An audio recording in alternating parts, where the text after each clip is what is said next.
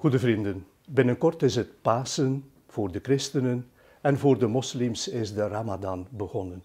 Een heel bijzondere en intense maand van extra gebed en bezinning, van vasten ook tot laat in de avond en van breken en delen met elkaar, vooral ook met wie in nood verkeren. Pasen en de Ramadan, eigenlijk twee mooie gezegende feesten maar dit jaar onder de donkere hemel van de oorlog in Oekraïne.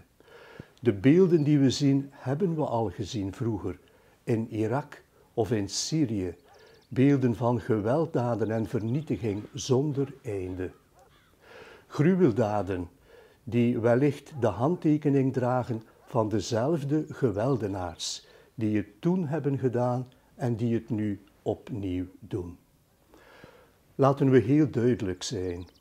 Een God die dat goedkeurt, die dat rechtvaardigt, die bestaat niet.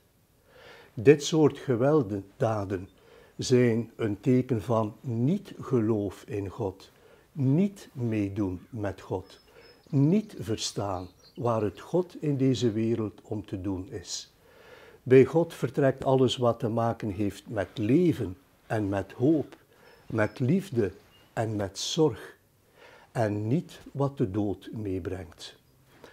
We bidden dit jaar voor vrede, vrede in onze wereld. En ik nodig alle gelovigen in deze tijd, christenen zowel als moslims uit, om samen te bidden tot God om vrede hier in onze wereld. Ik wens jullie een gezegende en een mooie Ramadan maand.